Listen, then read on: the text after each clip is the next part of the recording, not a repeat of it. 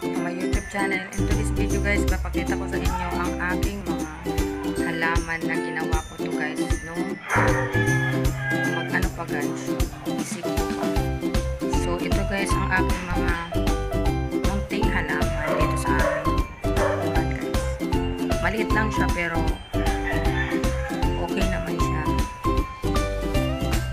Ito yung mga ipapakita ko sa inyo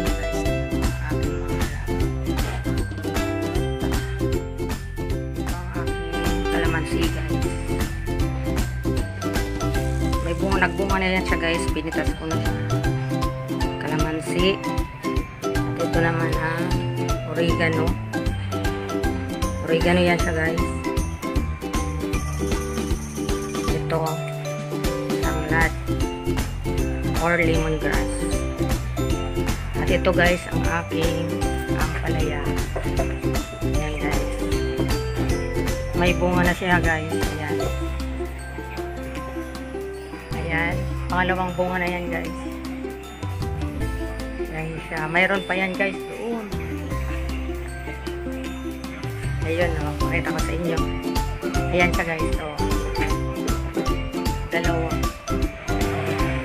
At ito, mayroon din akong bagong tanim na ampalaya. Ayan siya guys.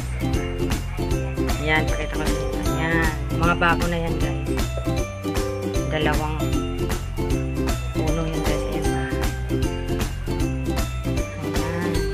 Gumagapang na siya guys. At ito ang aking alokbati guys. Ayan. Ang nilagay ko yan dyan guys, yung mga ano lang, mga support sa kanila, yung mga sirang hanger. Improvise lang guys. Ayan no.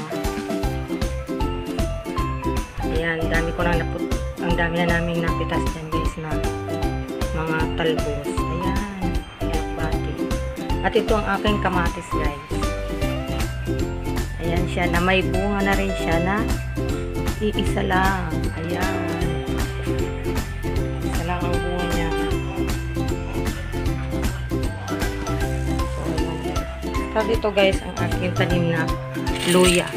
Lahat lang yan sa guys sa paso. Ayan yung luya. Tinanim ko yan siya guys. Ayan. At ito ang aking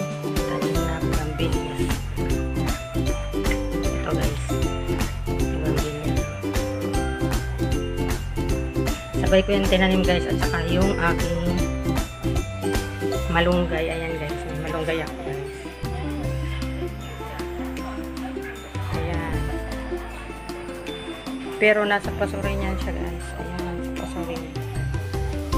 Lahat yan siya guys. Paso. Ayan. So yan guys ang pinagkabalhan ko nung quarantine bukod sa aking YouTube channel. Nakakatuwa lang siya guys tuwing morning. Makikita mo ganyan.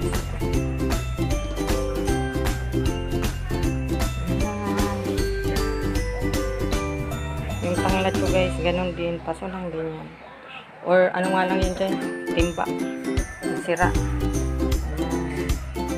Meron ako dito guys bagong ano.